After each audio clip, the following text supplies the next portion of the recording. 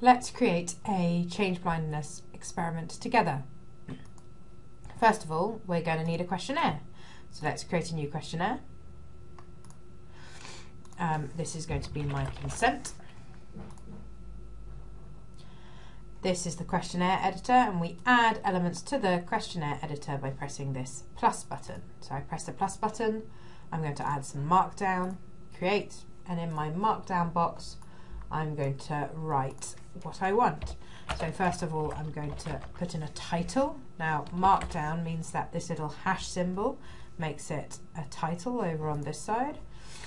Um, let me copy and paste some text across. Here you go. Now the other thing that we can do with Markdown is we can make something bold by putting stars around it. Watching the live preview what happens. See, demonstration's gone bold. And here the nicest thing with the list is that it doesn't matter what number I put here, the, the Markdown editor knows that the second item in this list should be a number 2. So there's my consent form. And then let me add a consent box, create, and this is going to be I consent to items 1 and 2 above. And this is consent. There you go. So let's commit version 1 and call this a simple consent form. Commit. There you go. Now if I go back to here, we can see we've now got a consent form here. Let's also create a demographics questionnaire.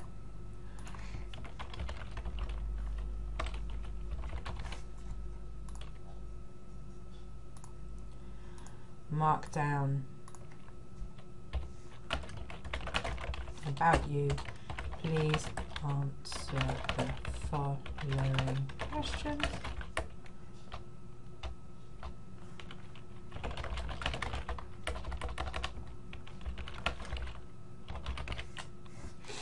And then let's go for the classic age and sex. I'll do them both as a drop down. Are ah, you.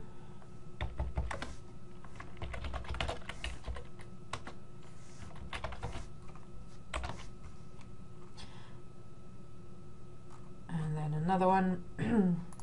Let's also have another drop down. Okay. How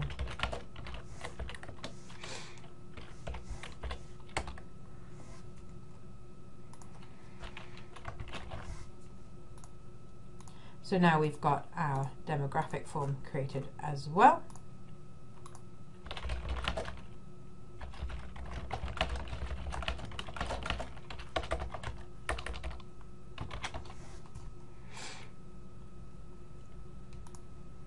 Now the last thing we need to create is our task. So here we're going to create a task. Create new.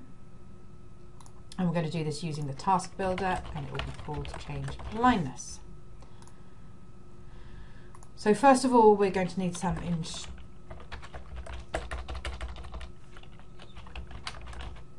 some instructions. Then we will need the trials, and then we'll need a debrief. For the instructions, I'm just going to use a markdown. Same for the debrief. And each trial is going to be made up of a fixation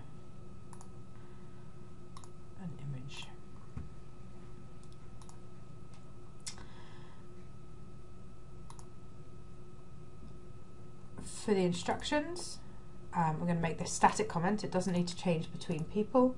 And this is a markdown area, so I can use the markdown text we had previously. So we can have this bold and this title. Um, and when people are ready, they're going to click this button, which will also be static content.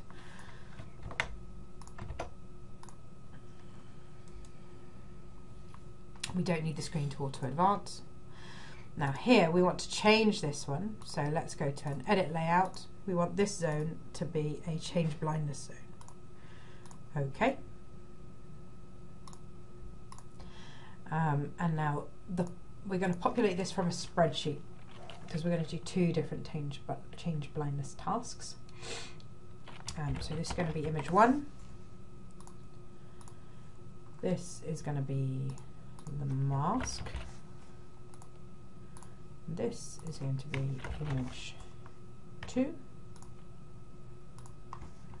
And here we can have some static content on this button for participants to click when they've spotted the difference and that's how we'll measure the reaction time. Now we're going to make these manipulations which means they can be varied between, exper uh, between experiments and between participants. We'll call this image duration and we'll make this mask duration.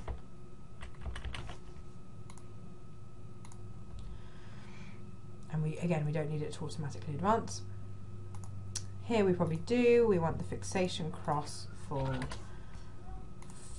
half a second, and then we want a tenth of a second of white space on either side.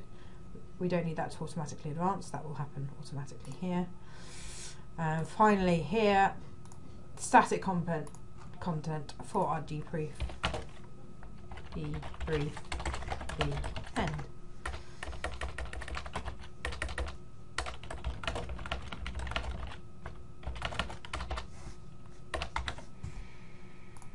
Okay, so this is our structure setup. Let's move across to our stimuli. I'm going to upload some files. What we want is these three. And we also want these three.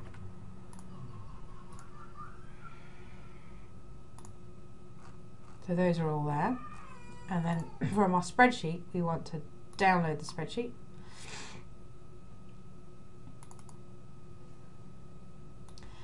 I need to populate this with the information. So, first of all, we're going to want, we can go back to our instructions, we're going to want the instructions, then we're going to want trials, and we're going to want two of these, and then the debrief. Now these trials, we want them to appear in random order,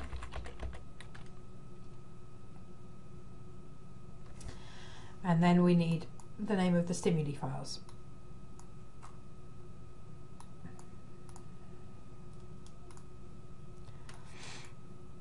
So we've got dinner one dot png,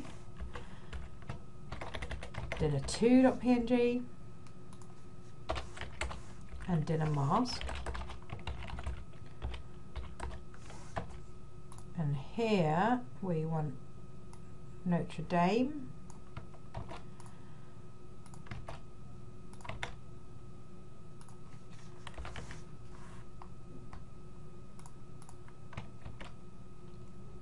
And here Notre Dame mask.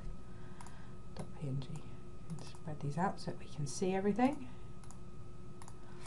And then we have the debrief. We're going to have these in a randomized order. And for metadata here, I'm going to put dinner and Notre Dame, and then that will come through as well in the data. But we don't particularly need that here.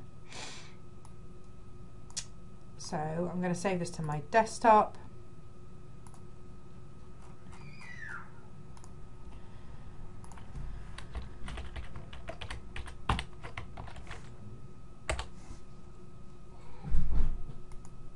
And then that's ready for uploading upload a spreadsheet, choose a file. Um,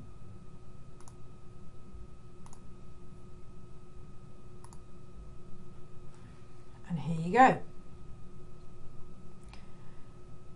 Then the final thing we need is to set these manipulations. The default image duration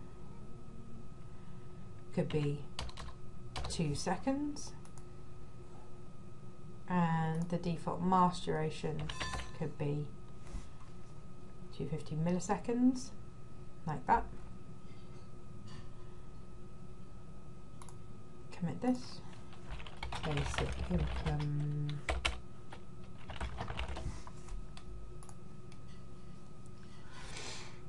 Let's preview it to see whether it looks right. Here's our instructions.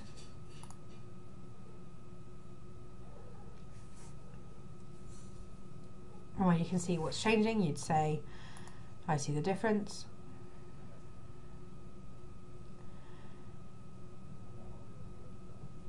And similarly, when you can see what's changing, you click the I see the difference button and we can just check that the data's coming through.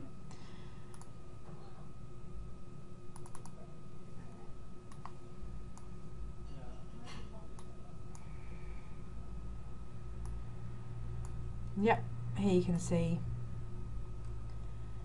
we've got our responses, fixation button, fixation button, we've got some timings coming through, so that looks pretty good.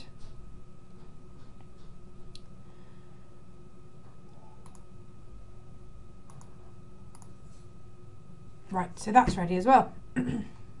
so let's go back to our project. So the last thing to do is to create the actual experiment which links all these things together. So we'll have our experiment.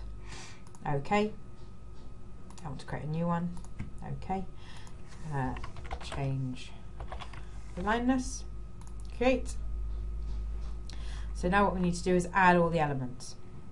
So first we need to press edit, add a new element. I would like to add a task. Uh, in my current project I've got my change blindness task. I would also like to add my questionnaires, uh, consent, and finally the demographics. And then I want to link these all together in my experiment. So first we want the consent. And what we do is we drag a new arrow from the start onto the consent box. And you should get a nice little arrow like that. Um, same for the demographics. Let's just move these up a bit. Don't need that much space. And finally the change blindness task. And now that is all linked together. Actually, what we might want to do, let's make this a more interesting experiment. Let's add a randomizer. Okay. Uh, we're going to have this as a mask condition with a ratio of 8 and we'll have a no mask condition with also a ratio of 8 and we're going to make this balanced which means that for every 16 participants definitely 8 go in this direction, 8 can go in that direction and it will always remain balanced. Let's make a bit more space. Um, so we're going to have the randomizer before the task and then we'll send some participants here towards the mask condition and then let's add another implementation of the task change blindness okay put this in the tree as well now here we've got a between subjects experiment but at the moment nothing's varying between the experiments so let's change this Let's change the mask duration to zero in our no mask condition. And now what gets shown in the tree is that in the mask condition, they've got a mask duration of 250, and in the mask ma no mask condition, there's a mask duration of zero. Let's commit this experiment uh, between subjects varying mask duration from 250 to zero. Commit. And then to put the experiment online, we'll change the recruitment policy to a simple link. Use this policy. And with this link, send it to somebody and they'll be able to take part. And that's how you create a simple experiment in Gorilla.